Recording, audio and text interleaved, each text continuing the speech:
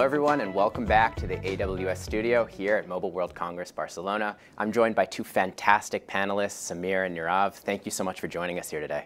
Happy to be here. Excited to be here. Thank you. So today we're going to talk a whole lot about the state of the telco industry as it applies to generative AI and deploying foundation models. And so maybe starting with you, Sameer, can you just tell us a little bit about the, the state of the telco industry here today in 2024? Absolutely. So we've been deeply invested in the telco industry for over 15 years. And AI is not new to the telco industry. We've been implementing AI for a very long time for decisioning, for pattern recognition. But what generative AI has brought is the ability to create executables out of it, to create an output, to create something new, to basically change the user interface in how you're going to interact with these systems of record, with all with the network itself, with the call centers getting a lot more efficient and so on. So we see this final evolution of AI into generative AI uh, being just a culmination of the work we've done with our telco customers for over, I'd say, a decade at this point. And so building on that, from your perspective, Neerav, you work with so many different industries. Why telco? Yeah, I think the thing that gets me really excited about telco is the major use cases in the telco industry are things the models can do right now. So for example, you know, uh, the models aren't yet ready to practice law. Uh, but they are ready to do things like assist customer service agents to create personalized marketing for customers who might be about to churn on a telco plan. And so there's just a great fit between model capabilities and workflows that are important to the industry. So from your perspective, Sameer, AWS and Anthropic together have been working very closely since September 2023. Can you take me behind the scenes of the actual collaboration from a telco perspective, AWS and Anthropic? I think we first uh, really came together near when customers asked us to come together, which is how we work best. So I, I still remember a conversation with SK Telecom when they put together that alliance of Deutsche Telekom and Etisalat and Singtel and SoftBank. And they had tested multiple models just off the shelf. And they had concluded that Anthropic was best suited to train on the telco data.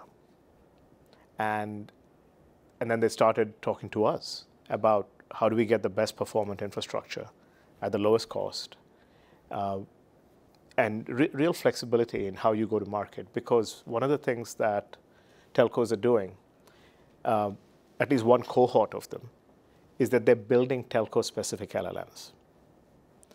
And when you list something like that on Bedrock or on SageMaker, you have the ability to reach all of the other telcos who then do not have to start at ground zero, but can start tuning an already well-tuned model with their own proprietary data and start getting real results very, very quickly. So that's how we started with, with Anthropic, and they've been great partners, um, helping our customers, first of all, and uh, working with us on and tra- trading on our infrastructure, really. Yeah, when I look back at the history of the partnership, you know, it really started with a deep technical partnership on putting models on Bedrock and being hand to hand on go to market. I think the most exciting development over the past couple months is we've now moved into more of an AI driven partnership. So we've been fine tuning the telco model for SKT, uh, but we're a small company with limited resources. And now with AWS's Gen AI Innovation Center, we're actually partnering with them so we can gather more data and run more experiments and progress the model on a, a faster pace to make uh, deeper improvements for the custom telco model. And so we've really been leaning on the Innovation Center in ways that I think are just going to drive performance. And I want to talk a little bit more about Bedrock, but before we get there, I'm curious. Uh, we heard yesterday from Will Cho from SK Telecom about the really exciting use cases that they're looking into, not just for customer service agents, but things like phishing detection, which I would have never expected. As you think about some of those new use cases, how has the work with SK Telecom shaped your overall 2024 strategy, specifically starting with you, Neerav, and then over to you, Sameer? Yeah, I mean, we don't know much about the telco industry. We build large language models. And so having an ambitious partner who knows what the model for them now and what the models might be able to do in three to four years for them has just been hugely valuable. Um, so we've really loved SKT's ambitions, where we've started with things like contact centers, but their vision is really a virtual agent that lives on the phone, and we want to help them build that. What about from your perspective, Sameer? Yeah, and, and their vision coincides very nicely with where we see this industry heading. If you look back to the advent of the iPhone, for example, and how the apps were essentially the area of control for your user experience, we are going through a similar transition now where a virtual agent is going to be that universal interface that you're going to trust with small and big decisions in your life. And so when SKT laid out that vision and then supported by Deutsche and, and all the other alliance members, it just made sense because if you look at Amazon and our presence in automotive and what we're doing with Gen AI agents in the dashboard, if, we, if you look at what we're doing with Gen AI in Alexa and all of the smart home devices that we have, look at what we're doing with Gen AI in retail, it, it is the same experience that you get, whether you're the enterprise or whether you're an enterprise serving your consumers and meeting them where they are. I think that, that, that notion of a user experience is so critically important, delivered not only by performance and accuracy, but also safety, privacy, and security. And I feel like I'm joined by two experts here in this domain of security and constitutional AI. So maybe uh, starting with you, Neerav, can you help us understand constitutional AI and Anthropic's overall approach to model safety? Sure. I mean, so this is the big place we want to differentiate ourselves in. Um, I think you're going to see a lot of horse trading uh, between the leaders in building frontier large language models on things like performance, cost, speed. Um, but historically, we've been the number one leader in safety, and we want to maintain that edge, um, both for enterprise use cases and for society as a whole. So one of the big research breakthroughs we had was uh, a breakthrough called constitutional AI. Uh, so zooming out on how these models are trained, usually you start with a big scrape of the internet, and that's how these models go to school and get smart. Uh, but they don't come out of that training being particularly safe. And so what most companies do is they hire thousands of contractors to give feedback to the model shaping its values. Now, the problem with this is you're really outsourcing one of the most important things a technology provider can do, which is make sure that the model is safe and secure. And so what we've been able to do is both harness a small group of select experts and then train AI to scale up their expertise so that it's only the highest quality human feedback that is shaping the values of our model. And we've seen three to four research studies over the past six months that have validated our model as one of the uh, hardest to jailbreak in the entire world. Wow. What about from your perspective? And as you know, Robbie, better than anyone else, security has always been job zero and job 2000 for us, right? So we, we wanted to make sure that any infrastructure that we provide, any software that we provide, any service that we provide, and any apps that we provide are secure by design from day one. And obviously, you, you want to pick models that have adhered to the same philosophy. And so that, that is why we decided to partner with Anthropic on this topic. If you look at what the telco customers are telling us, the provenance of the model is very, very important for the reasons that you just mentioned. Um, these things, these models sometimes put, put out malicious stuff, right? They hallucinate. So the ability to trace back is extremely important for our customers and to basically go show them the methodology on which it was trained uh, it, it is a real comfort, both legally and just intuitively, if you know what I mean uh, to our customers. And I think so much of this space is about upskilling uh, the, our workforce and developers, builders, and enterprise decision makers to really understand the benefits and also limitations of what can be developed today. So maybe a question actually for each of you, maybe starting with you, Sameer. What's one misconception around the space of generative AI that you'd like to quickly debunk? I'd, I'd like to, uh, so I, I hear this all the time, that Gen AI is a panacea, that is going to solve every single problem it's a great tool, but it's the last and one of the most powerful pieces in the continuum of AI.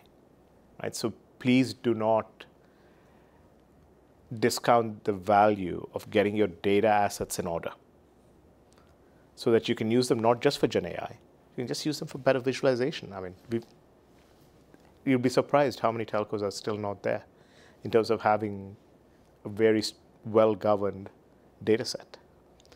So without that, um, jumping into Gen AI would be a fallacy. Let's just get the data sets in order first.